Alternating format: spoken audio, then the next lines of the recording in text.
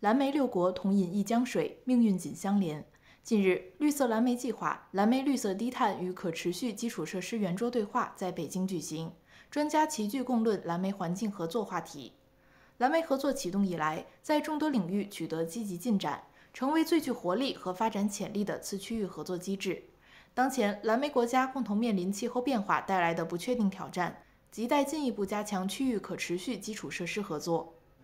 什么是可持续的基础设施？用一个最通俗的语言来解释吧，就是经济发展、社会进步以及包括环境保护之间的一个协同治理的基础设施。除了传统的这种我们说的硬件基础设施，也就是传统型基础设施之外呢，其实还有像软联通啊、贸易环境。环境作为一个非常重要的呃交叉型的科学要素，其实它是跟发展议题密切相关的。其实现在主要是三个大的核心领域。啊，气应对气候变化、生物多样性保护，还有海洋垃圾，每一个国家，其实我相信都在考虑，那如何使自己的基础设施更好的去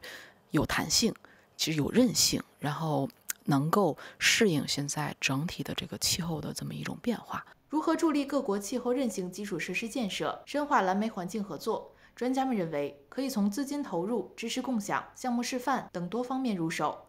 蓝莓六国共同面临的挑战是怎么样实现公平的、呃更加有效的转型？怎么重新调整我们的经济能源结构、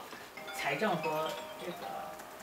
金融的支持，支持我们的更加韧性的基础设施建设，也支持这个电网的升级以及可再生能源的投资等等哈。各国家应该开展战略性的合作，低碳和绿色的发展。从这个角度，我们呢要来分享知识，要提供技术援助。只有这样，我们才能够打造相关的路线图。希望每个国家都把自己的方案可以贡献出来，十六个国家呢之间的话有一个更好的一个交流。其实过去有很多人都都是在说，就说哎呀，那国际合作是否就主要是集中在对话和能力建设？但是我相信，其实是蓝莓合作它闯出了一条不同的路，就是有很多小而美，特别是强调 people to people 的这种社区型的项目。近年来，在蓝莓六国共同努力下，绿色低碳和可持续基础设施共享平台、生态学校、气候使者等示范项成效显著。未来，蓝莓环境合作也将更加深入。在去年，蓝莓六国外长共同发布的关于加强南昌江湄公河国家可持续发展合作的联合声明中，也提出了共建蓝莓绿色低碳与可持续基础设施共享平台。在湄公河地区，我们与缅甸、老挝、柬埔寨等国家已经签署了合作文件，啊，提供环境监测设备、太阳能光伏发电系统。我很高兴告诉大家，这个下周这个我们和老挝共建的这个塞斯塔低碳示范区将正式的揭牌。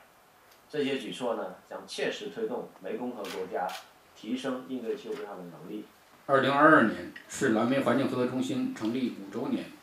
也是我们第一期蓝莓环境合作战略的收官之年。我们还将继续做好协调工作，根据各国实际情况，确定未来五年优先合作领域和和和行动框架，拓展更多务实合作，助力区域落实联合国二零三零年可持续发展目标。